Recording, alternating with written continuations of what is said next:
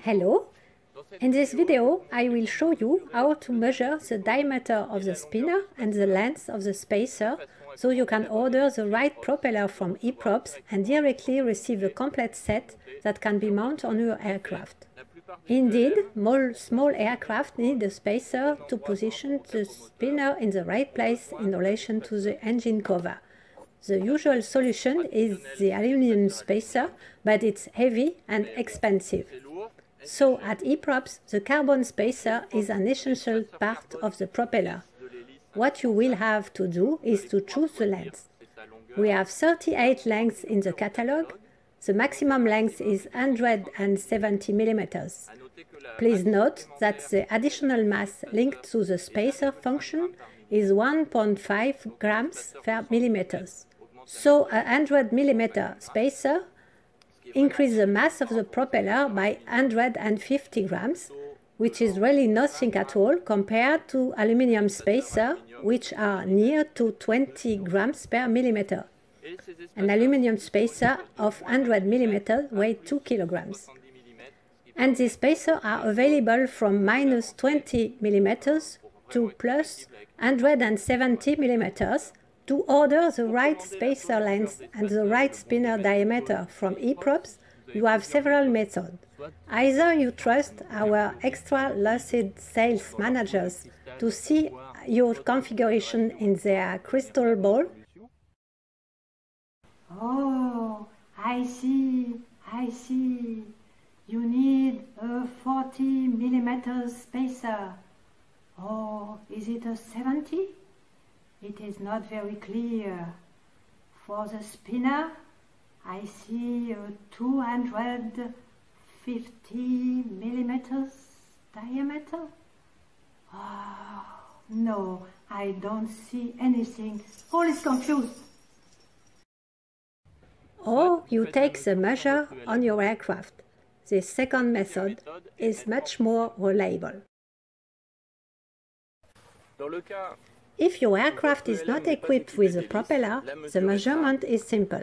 You take a roller, a rod, something straight, you apply it to the cover and you come to measure the distance between the flange of the reducer and the cover.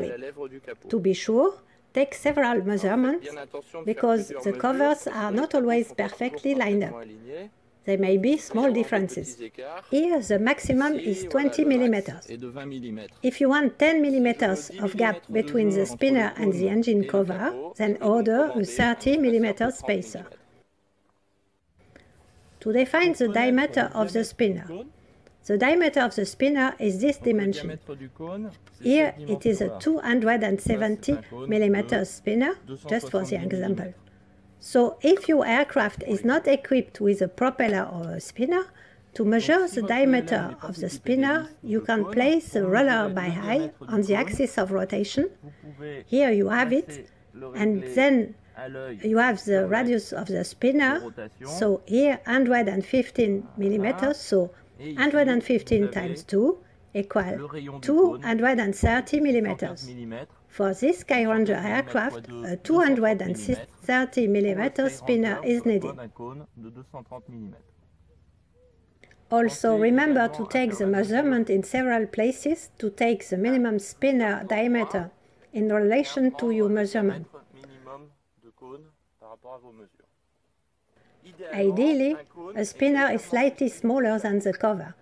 From an aerodynamic point of view, it is better if the spinner is slightly smaller than the cover, rather than the spinner is slightly larger than the cover.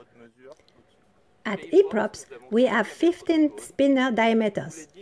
Every 10 millimeters from 210 to 320, the most common on small aircraft, and beyond, every 20 millimeters up to 380. So whatever the diameter of spinner you need, we have it in our catalog.